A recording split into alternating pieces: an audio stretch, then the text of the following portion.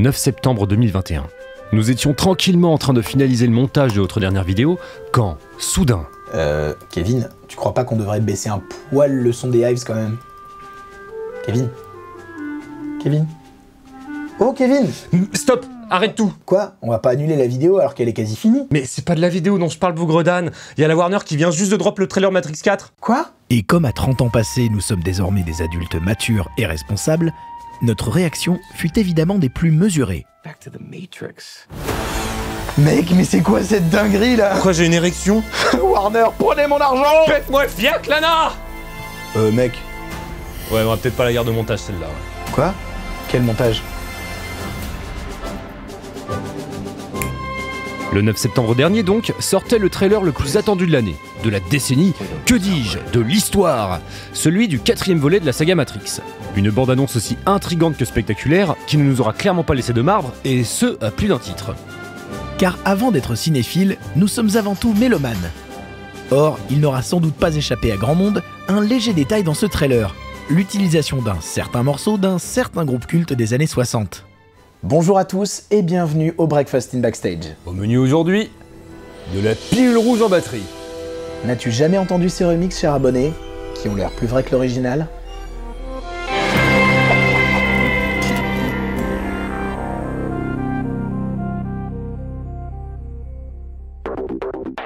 En 1999 sortait le film d'une génération, Matrix. Deuxième long métrage des Wachowski, le film va acquérir immédiatement un statut culte au point que d'aucuns le considèrent encore aujourd'hui comme le plus grand film de science-fiction de tous les temps. L'histoire qui nous est contée ici met en scène Thomas A. Anderson, aussi connu sous le nom de Neo, développeur pour une respectable entreprise de software le jour et redoutable pirate informatique la nuit. Contacté par ce qu'il pense être un groupe de hackers, Neo sera rapidement amené à apprendre une vérité des plus sinistres. Le monde tel qu'il le conçoit n'est en réalité qu'une gigantesque simulation appelée la Matrice, au sein de laquelle les humains sont maintenus captifs pour subvenir aux besoins énergétiques des machines. Lui qui pensait vivre en 1999 découvre ainsi que dans la réalité, l'humanité approche douloureusement de l'an 2199, tentant de survivre sur une planète Terre ravagée par une guerre terrible qui aura vu les machines triompher des humains. C'est peu dire qu'il y a eu un avant et un après Matrix pour le cinéma américain. Disons-le tout de suite, quand Matrix sort en 99, c'est tout simplement du jamais vu. Rarement depuis l'avènement du nouvel Hollywood dans les années 70, un blockbuster avait su concilier à ce point grand spectacle et profondeur scénaristique. Car Matrix, avant d'être une révolution en matière de FX, c'est un scénario incroyablement bien ficelé, qui se passe volontiers de la suspension d'incrédulité pour embarquer et même, disons-le, traumatiser le spectateur. Récompensé par 4 Oscars, Matrix fera l'objet de deux suites, Reloaded et Revolutions, toutes deux sorties en 2003 et qui, malgré un grand succès en salle, ne tutoieront jamais les cimes atteintes par le premier film. Depuis lors, la saga était, le pensait-on, terminée. Mais le souvenir de Matrix et des nombreuses questions philosophiques soulevées par la trilogie continueront de hanter le public deux décennies durant. Jusqu'à cette annonce en 2019, à l'occasion des 20 ans du premier film, la sortie à venir du quatrième volet de Matrix. Bon, on va pas vous mentir, même si on adore tous les deux la saga, jusqu'ici, disons que Matrix 4, euh, on n'y pensait pas tous les matins en se rasant, quoi. Ah bah d'autant plus que on se rase pas vraiment tous les matins. hein. Bon, et puis on a vu la bande-annonce et... euh, On est quand même des gros moutons, Kevin. hein. J'en ai bien peur, Alexis. J'en ai bien peur. Alors évidemment, il ne sera pas question de s'attarder dans cette vidéo sur les mille et une théories soulevées par le trailer de Matrix Resurrection, ni davantage de s'aventurer dans une analyse filmique hasardeuse, parce que, tenez-vous bien, c'est subtil, Nous sommes une chaîne musicale. voilà. Pour ça, nous vous renvoyons vers le cinéma de Durandal, ou, pour les aficionados anglophones de la saga, vers l'excellente chaîne Matrix Explained, que je vous recommande chaudement. Non, aujourd'hui, nous allons nous intéresser à ce qui fait selon nous la force de ce trailer. Devinez quoi Sa musique. Mais t'as fini de me couper la parole comme ça? Non mais j'abrège pour toi, Kevin, là. Qu'est-ce que ça veut dire? Ça veut dire mets ta ceinture, Alice. et bon voyage au pays des merveilles.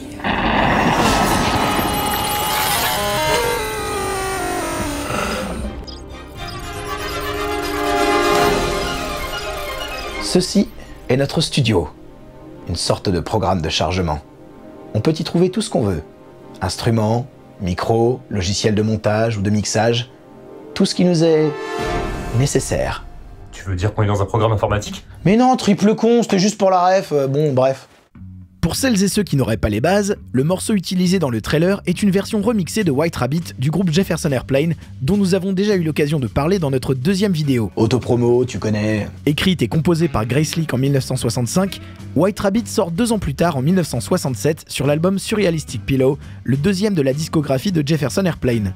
Porté par les tubes Somebody to Love, She Has Funny Cars et donc White Rabbit, l'opus est considéré comme l'une des figures de proue musicales du Summer of Love, du mouvement hippie, et plus globalement, un monument du rock psychédélique. White Rabbit est seulement le deuxième titre composé pour cet album et sera joué pour la première fois en 1966 au Matrix Club de San Francisco. A l'instar de Matrix, White Rabbit obtient rapidement le statut de chanson culte, car au-delà d'être une pierre angulaire du rock psychédélique, White Rabbit est aussi et avant toute chose un des morceaux pionniers du rock progressif.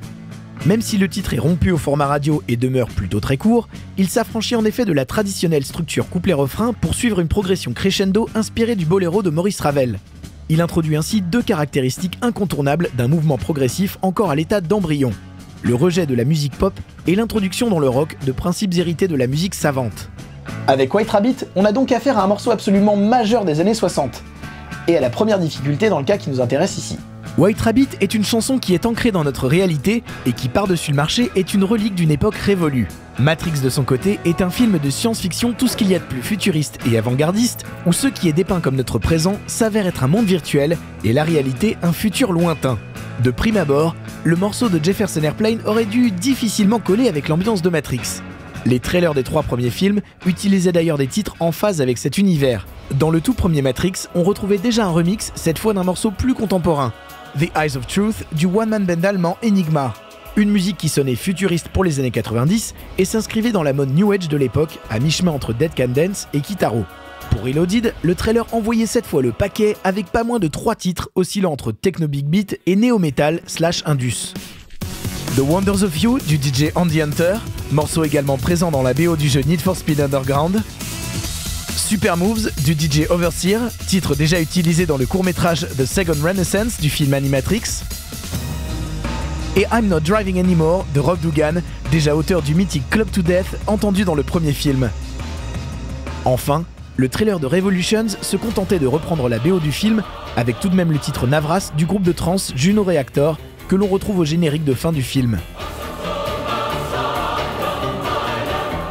Le choix musical du trailer de Matrix 4 est donc des plus curieux, puisque White Rabbit est un morceau profondément ancré dans son époque et qui sonne euh, tout ce qu'il y a plus rétro. Par corollaire, bien que ta question puisse paraître des plus pertinentes, il se pourrait bien que tu ignores qu'elle est aussi la plus hors de propos. Mais pourquoi suis-je ici? Bah Pour décortiquer ce putain de mix, pardi euh. N'étant pas l'auteur du remix de White Rabbit, je ne dispose fatalement pas du multipiste d'origine. Mais du coup, comment disséquer un morceau sans multipiste? Bah on peut pas Enfin si on peut. C'est quand même vachement moins marrant. J'ai donc refait toutes les pistes Manu Militari. Des percus, au cuivre, en passant par les cordes, et les synthés, afin de pouvoir analyser avec vous ce remix. Non, je ne suis pas obsessionnel. Je ne vois pas ce qui vous fait dire que je suis obsessionnel. Le remix démarre en reprenant stricto sensu le White Rabbit d'origine, à l'exception d'un accord de piano à l'envers, et de léger sound design, tout ce qu'il y a de plus classique dans les trailers modernes. On retrouve donc cette construction en crescendo avec un ostinato de basse et de caisse claire qui donne à ce titre un aspect martial, n'est-ce pas? Contrebalancé par des sonorités orientales appelant au voyage. Ah, les hippies. Putain de hippies. On l'a déjà dit, le morceau s'inspire dans sa construction du boléro de Ravel, mais s'en éloigne dans son pattern rythmique. Jusqu'ici, tout va bien. Thomas Anderson mène sa petite vie, joue avec son canard en plastique dans son bain de mousse, rencontre Trinity, puis se gave de pilules bleues. Euh, sorti de son contexte, euh, c'est quand même. Euh, Coucou, tu veux un Matrix 4 Merci Kevin pour cette intervention délicate et poétique. À l'apparition de ce qui semble être l'oracle, le vent que l'on entend au bourdon commence à tourner avec un son de waterphone typique du cinéma d'horreur, symboliquement placé ici lorsque se referme le livre d'Alice au pays des merveilles. Oui, parce que White Rabbit est truffé de références au roman de Lewis Carroll. On y reviendra. L'utilisation du waterphone ici, dissonant et donc angoissant par essence, en dit possiblement long sur le rôle a priori négatif que l'oracle pourrait tenir dans l'intrigue. Mais passons. À partir de ce point du trailer, Le morceau d'origine laisse progressivement place au remix et se distord jusqu'au moment où Neo prend la pilule rouge. On relève ici l'ajout d'une tenue de corde et de synthé qui augmente la tension et annonce l'arrivée de cuivre bien, bien, bien fat. D'ailleurs, ce grand brame de cuivre à la Hans Zimmer, on le retrouve dans la quasi-totalité des blockbusters américains et leurs trailers depuis Inception. Florilège. What's the most resilient parasite? Betrayed our nation.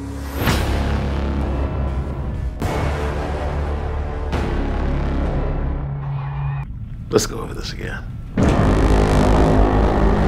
Symboliquement, à la prise de la pilule rouge, le morceau rentre dans sa seconde phase. L'original est toujours là, mais la voix de Grace est filtrée et anticipée par une reverse reverb.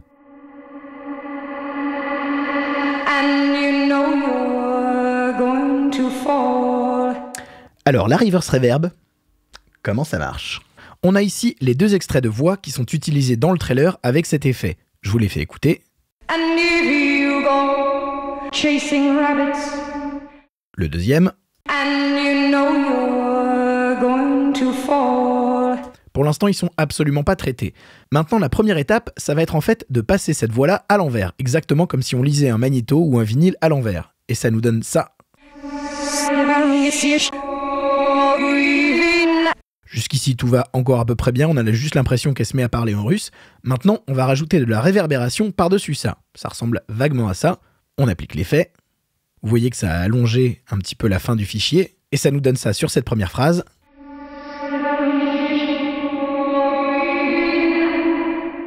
Elle parle toujours russe, mais de très loin. Troisième étape, maintenant, ça va être de repasser cette voix à l'envers, enfin à l'endroit. Enfin, vous voyez quoi. Et ça nous donne maintenant ça.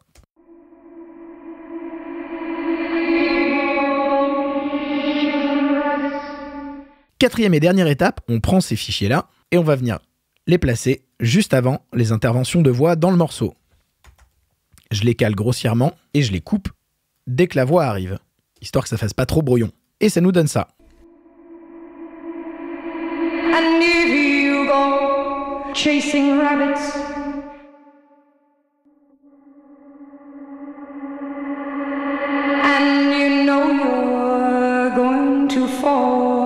En guise de pilule sur les cookies, on rajoute un bon écho des familles un delay pour être plus exact. Ce qui nous donne ça.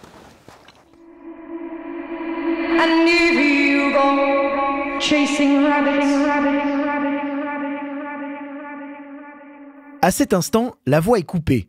Elle devait arriver là à la base. Et la deuxième phrase, And you know you're going to fall, arrive plus tard que dans le titre d'origine. Ce qui, pour ceux qui connaissent le morceau, est bien annonciateur que quelque chose se passe. Le remix ne se contente plus de simples ajouts ou modifications superficielles et commence à triturer la structure même du morceau. On note l'ajout d'une caisse claire qui remplace la caisse claire d'origine et de cordes en staccato, toujours à dessein d'aggraver la tension. Un grand classique des films d'action et des trailers de blockbuster. Bon, et maintenant qu'on en est là, on va quitter les années 60 et rentrer dans une ambiance futuriste plus en phase avec Matrix. C'est donc le moment parfait pour envoyer du synthé. Et je peux vous dire que du synthé, vous allez en bouffer. Au départ assez discret, les synthés qui arrivent en même temps que se distord la voix de Grace apportent une couleur plus synthwave et évidemment plus futuriste. Juste après, on retrouve un autre grand classique des trailers. Un bon vieux break. On n'a pas dit que tout serait original non plus, hein. À la reprise, le morceau s'emballe, le synthé devient plus grave et se fait moins discret. À l'image, on quitte la matrice pour montrer ce qui semble être le monde réel, si l'on isole le synthé, on se rend ironiquement compte qu'il sonne très jeu vidéo 16 bits, ce qui est raccord avec le fait que la matrice est un monde virtuel, mais pas vraiment raccord avec le fait que le monde réel est censé être... Euh, bah réel. Le monde réel serait donc lui aussi virtuel. Hmm. Je connais cette théorie. Sur quelques mesures, on plante une nouvelle mélodie de cordes qui ne vient pas du tout du morceau originel. On apporte donc un élément complètement nouveau avant que la voix ne revienne. Et elle ne revient pas sur le bridge du morceau, mais directement sur le dernier couplet qui précède le grand final, qui a donné d'ailleurs à White Rabbit toute sa dimension culte.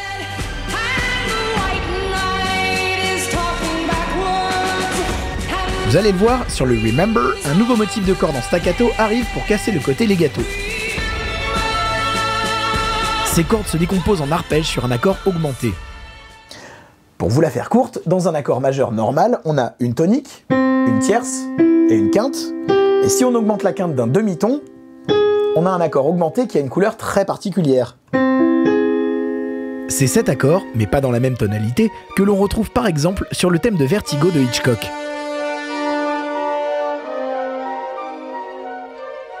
L'objectif ici est clair, ajouter littéralement une note de mystère et de fantastique. Bon, et sur le final, on est clairement en roue libre ou en pleine montée d'acide pour les amateurs de trip. Tranquille, pas la peine de vous cacher. On n'est pas des agents. Hein. On retrouve une montée chromatique très impressionnante emmenée par les cordes, assez typiques des trailers, mais qui se marie ici incroyablement bien avec le morceau de Jefferson Airplane, en l'emmenant pourtant très loin de son harmonie initiale. Petit détail à relever ici, au moment où l'on voit Morpheus et sa comparse se défenestrer dans une scène qui n'est pas sans rappeler la chute de Trinity dans Reloaded, on entend ce son-là, qui est un son assez typique de la saga, souvent associé aux agents et plus généralement aux dangers. Pour finir, dans sa mouture d'origine, White Rabbit s'achève sur un accord majeur. Ici, le trailer finit sur un accord mineur plus... Euh, négatif. Nouveau break, apparition de ce personnage que l'on aperçoit plutôt dans le trailer et qui semble être l'antagoniste du film. Et on repart sur l'accord classique Matrix avec les petites trompettes typiques de la trilogie originelle en guise de grand final pour le petit effet frisson qui va bien. Mais ça, tu l'as parfait, si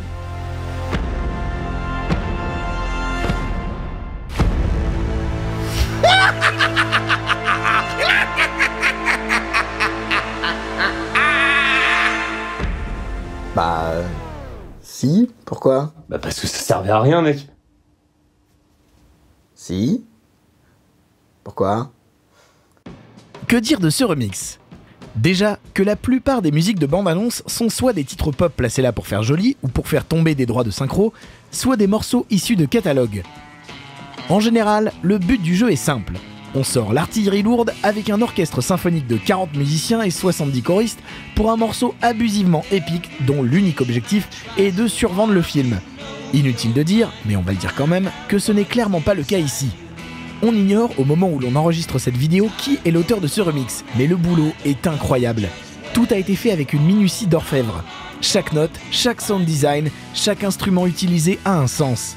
Pour moi, la musique de ce trailer a été travaillée comme une véritable musique de film qui s'intègre pleinement dans la diégèse de son œuvre. Bon, et maintenant qu'on a analysé ce remix, il est temps de répondre à la grande question qui nous anime tous, Néo. Qu'est-ce que la matrice? Pourquoi avoir choisi White Rabbit pour ce putain de trailer?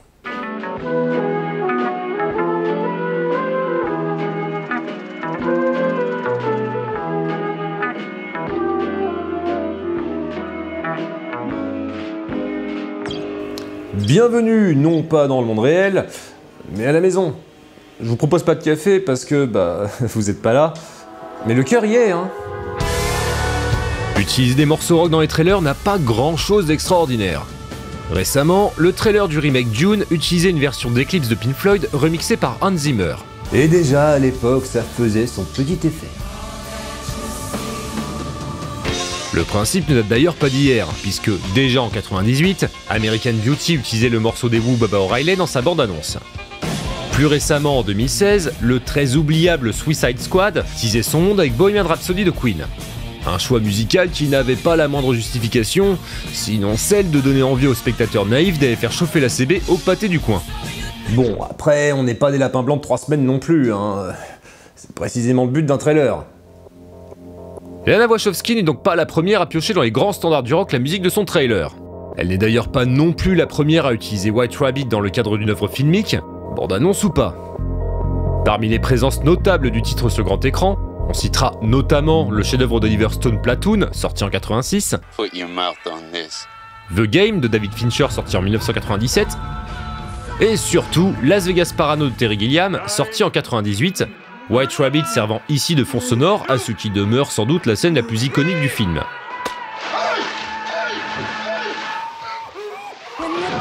A noter, toujours dans Las Vegas Parano, la présence à l'écran d'un groupe représentant Jefferson Airplane dans une scène où est joué Somebody to Love au fameux Matrix Club de San Francisco.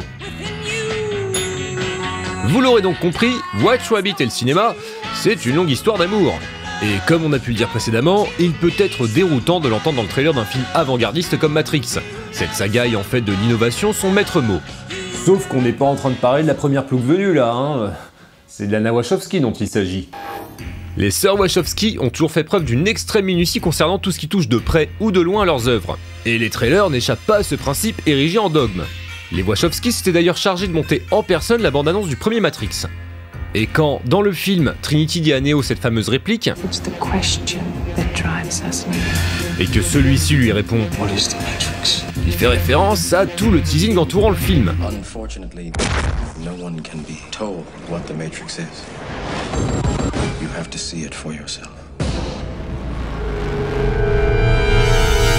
Pas de tête de forain dans le quatrième mur. Le trailer du premier Matrix était en effet à minima aussi énigmatique que celui du quatrième, n'apportant aucun élément concret de scénario au spectateur et se concluant sur l'URL d'un site internet éphémère whatisthematrix.com. Du coup, vous imaginez bien que 20 ans plus tard, euh, Lana n'allait pas commencer à prendre par-dessus la jambe le trailer de son petit bébé avec un choix musical placé là juste pour faire joli, hein. Le choix de White Rabbit n'a donc non seulement rien d'anodin, mais surtout absolument rien incohérent. En fait, jamais le titre n'a semblé plus à propos que dans la bande-annonce de Matrix 4. White Rabbit, comme l'indique son nom avec la subtilité d'un facochère lâché au beau milieu du musée de porcelaine de Limoges, fait référence au roman mythique de Lewis Carroll, Alice au pays des merveilles, que vous connaissez sans doute fort bien puisqu'il a lui-même été adapté moult fois au cinéma, notamment par Disney dans ce qui demeure sans doute sa version la plus notoire. j'ai rendez-vous La chanson White Rabbit raconte, grosso modo, un trip sous psychotrope de son interprète Grace Leak, qui la verra effectuer avec Alice un voyage astral dans les méandres du pays des merveilles. Et c'est là que le parallèle avec Matrix devient tout de suite très intéressant. Bah quoi euh, Pourquoi tu me regardes comme ça? Il n'aura sans doute échappé à personne que la saga Matrix, en particulier le premier film, multiplie les références à l'ouvrage de Lewis Carroll. Quand Neo est réveillé par un message de Trinity dans le Matrix de 99, cette dernière l'invite dans un premier temps à suivre le lapin blanc. Lorsque Neo et Morpheus se rencontrent pour la première fois lors de la légendaire scène des pilules, Morpheus fait de nouveau référence à Alice au Pays des Merveilles par ces mots. I imagine that right now you're feeling a bit like Alice. Tumbling down the rabbit hole? A noter que peu après dans cette même scène, le personnage de Cypher refait allusion à Alice au Pays des Merveilles. En tout cas dans la version française du film. Ça veut dire mets ta ceinture, Alice. Et bon voyage au Pays des Merveilles. Dans la VO, il évoque en réalité le magicien d'Oz avec le personnage de Dorothy s'apprêtant à quitter le Kansas. Ce qui est plus en adéquation avec le personnage de Cypher qui, contrairement aux autres protagonistes, aspire à se rendormir et à quitter le Pays des Merveilles. Peu après, Neo se retrouve face à un miroir qu'il va traverser, ce qui est encore un clin d'œil à l'univers d'Alice, et précisément au deuxième tome de ses aventures, intitulé De l'autre côté du miroir et ce qu'Alice y trouva. Lors de la scène suivante, Neo tombe dans un tuyau interminable, qui n'est pas sans rappeler la chute d'Alice lorsqu'elle pénètre le fameux terrier du lapin blanc. Quelle formidable coïncidence, n'est-ce pas? D'aucuns considèrent que Matrix est une adaptation libre d'Alice au Pays des Merveilles, une sorte de version dark et cyberpunk du roman de Lewis Carroll, ce qui n'est jamais qu'une des innombrables théories qui entourent la saga Matrix et ont contribué à en faire une œuvre alpha du cinéma hollywoodien contemporain. Parce que les théories autour de Matrix, euh, c'est clairement pas ce qui manque. Est-ce que le monde réel est véritablement le monde réel ou la corbeille de la matrice? Est-ce que l'oracle est une alliée ou un ennemi? Est-ce que l'agent Smith a raison? Et surtout, est-ce que Morpheus est complètement con à vouloir réveiller 10 milliards d'humains pour les faire vivre sur une planète où la lumière du soleil ne passe plus, où les océans se sont évaporés et où la vie dans son ensemble est en voie d'extinction plus qu'avancée? Non, sérieusement, ce serait un bordel sans nom. Bah, tu t'égares un peu, la mec, non? Promis, je me soigne. De mon côté, j'ai une théorie plutôt mignonne à propos de Matrix, qui m'est apparue comme une évidence en voyant le trailer du 4. Le premier film n'est ni plus ni moins qu'une adaptation cinématographique non pas d'Alice au Pays des Merveilles, mais de White Rabbit de Jefferson Airplane. Une sorte de clip de deux heures, quoi. Et pour s'en convaincre, il suffit de se pencher un poil sur les paroles. Et on commence dès le début avec les paroles les plus évidentes à analyser. Une pilule te fait grandir et une autre te rend petit. Au pays des merveilles, Alice bouffe deux types de champax. L'un la fait grandir dans des proportions démesurées, l'autre la fait rétrécir. Transposé à Matrix, l'analyse est plus métaphorique. Il est ici évident que les paroles renvoient à la scène des pilules du premier film. La pilule bleue étant celle qui vous fait rétrécir pour devenir, ou tout du moins rester, un placement produit du Racel, et la rouge celle qui permet de grandir en libérant son esprit de la matrice. Simple, basique, tu connais. Et celle que ta mère te donne ne fait rien du tout. Là, c'est déjà un peu plus touchy. Deux possibilités s'offrent à nous. Considérer qu'on parle encore de la pilule bleue, celle que Neo ne choisit pas au grand regret de Cypher, et qui permet de continuer de rester endormi et de mener sa petite vie où... Vous avez un numéro de sécurité sociale, vous payez vos impôts et vous proposez à votre logeuse de descendre ses poubelles. D'ailleurs, dans le trailer de Matrix 4, on relève que l'image montre les pilules bleues sur ce passage. Mais la vraie question à se poser ici, c'est qui est la mère? Matrice vient du latin mater, qui signifie la mère. Néanmoins, une autre possibilité de réponse est donnée par l'architecte dans le deuxième film. Si moi je suis le père de la matrice, elle en est indubitablement la mère. Dans le premier Matrix, l'oracle propose des cookies à Neo qui finit par les accepter. Outre la blague d'un programme informatique qui vous harponne de cookies, ceux-ci ont une propriété absolument extraordinaire. Comme tout aliment dans la matrice, ils ne sont que pure illusion et ne font rien du tout. On continue avec Demande à Alice quand elle mesure 10 pieds. Alice ici n'est nulle autre que Trinity, et cette phrase renvoie directement à sa première rencontre avec Neo. Neo est alors encore Thomas Anderson, un humain comme un autre branché à la matrice, tandis que Trinity est bien plus grande que lui car elle a été libérée. On enchaîne avec Et si tu vas poursuivre les lapins et que tu sais que tu vas tomber, qui fait directement référence au fameux tatouage du lapin blanc et à la soirée où Neo est convié alors même qu'il bosse le lendemain et qu'un retard pourrait lui coûter son job. This company is one of the top software companies in the world because every single employee understands that they are part of a whole. Thus, if an employee has a problem, Dis-leur qu'une chenille qui fume le narguilé t'a appelé peut également concerner deux personnages, le leader des punks ou tout simplement Morpheus. Celle-ci, je conçois qu'elle est un petit peu capillotractée. Appel Alice quand elle était encore petite fait ici référence à la scène où Neo s'apprête à être déconnecté de la matrice. Stressé, il demande alors à Trinity si elle aussi est passée par cette épreuve. Quand elle était encore petite donc. Quand les hommes sur l'échiquier se lèvent et te disent où aller, désigne sans trop de débat les agents, notamment l'agent Smith qui s'obstine à appeler Neo par son dead name, Thomas Anderson, comme pour lui rappeler qu'il ne sera jamais qu'un pion sur l'échiquier ou une pilule dans la batterie. Et tu viens de prendre une sorte de champignon et ton esprit s'affaiblit, refait de nouveau référence à la pilule rouge et à ses conséquences sur Neo qui, arrivé dans le monde réel, est redevenu aussi fragile qu'un nourrisson. Va demander à Alice, je pense qu'elle saura, évoque très probablement la scène où Trinity materne un Néo psychologiquement fragilisé par le traumatisme de l'éveil. Bon, concernant la suite, hein, pas besoin d'être Stephen Hawking pour comprendre. Quand la logique et les proportions se barrent, complètement en couille. Attention, traduction non contractuelle. Ce qui est nettement plus intéressant en revanche, c'est la phrase suivante.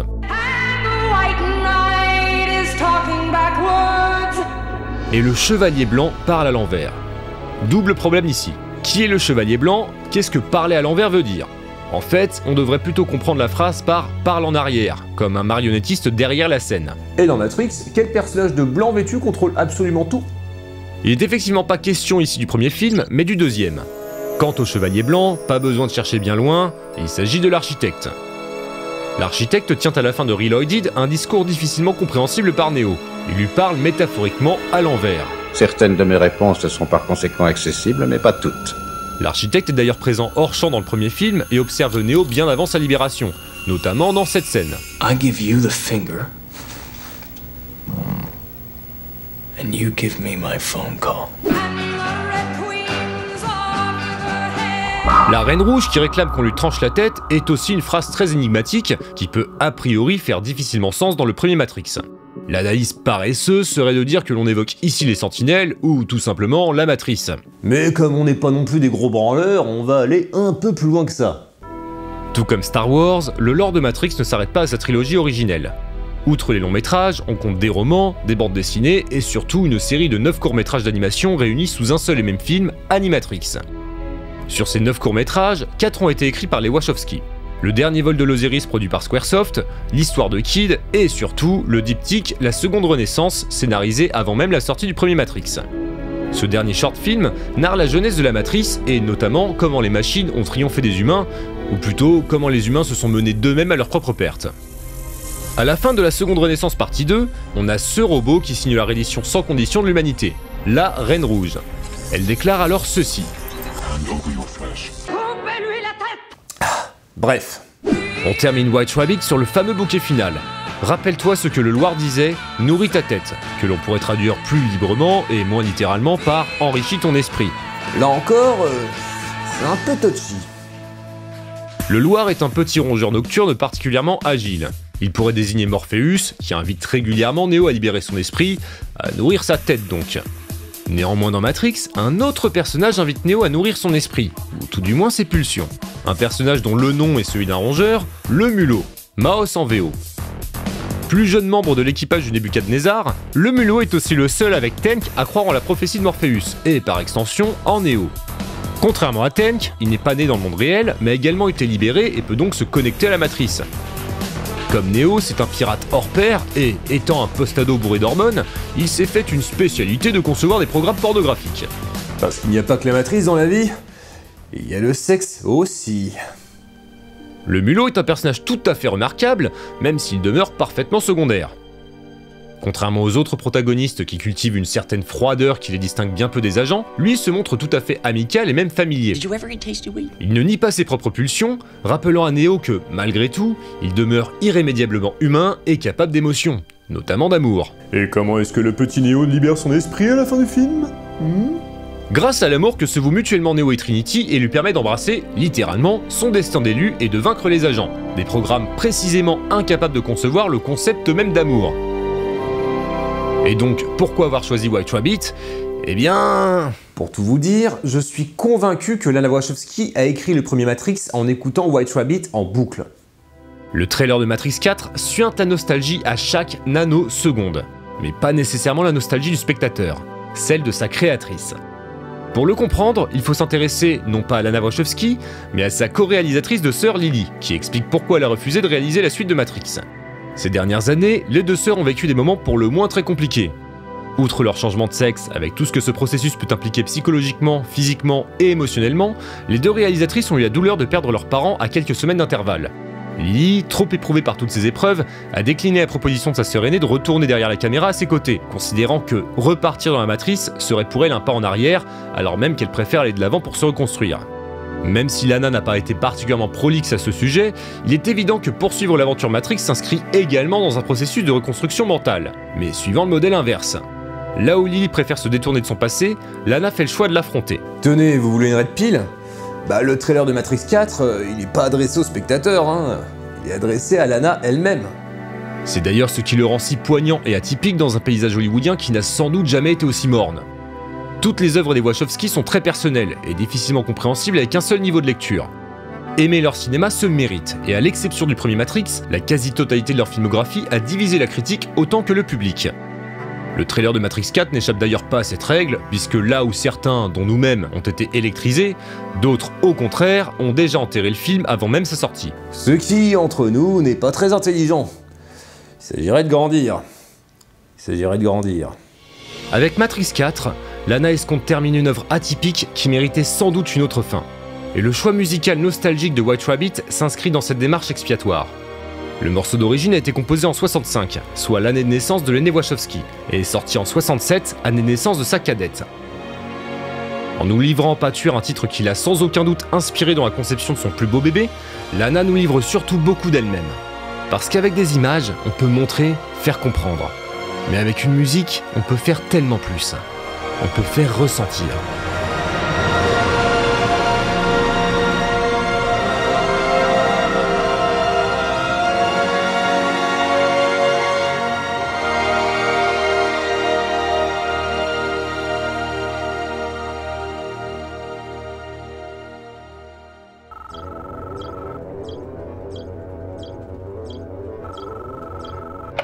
Je sais que vous êtes là. Je sens votre présence. Je sais que vous avez peur. Vous avez peur de nous. Vous avez peur du changement. Je ne connais pas l'avenir. Je ne suis pas venu vous dire comment tout ça finira. Je suis venu vous dire comment ça va continuer. Je vais raccrocher ce téléphone. D'ailleurs, c'est pas un téléphone, c'est mon micro. Euh, puis je vais arrêter cette conclusion foireuse pour montrer à tous ces gens ce qu'ils veulent voir. S'ils s'abonnent à notre chaîne, je leur ferai voir plein de vidéos démonétisées par leurs ayants droit avec de la pub partout s'ils n'ont pas Adblock ou qu'ils sont sur mobile. Et je leur dirai que l'on se retrouve tout de suite en live sur notre chaîne Twitch pour débriefer cette vidéo.